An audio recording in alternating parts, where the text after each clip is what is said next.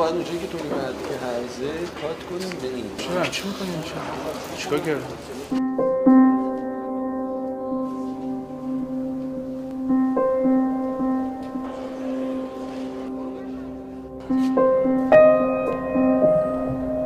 استاد سمندریایی یه مثال خوبی می‌زد همیشه. می‌گفت تماشاگر اول هیچ ذهنیتی نداره.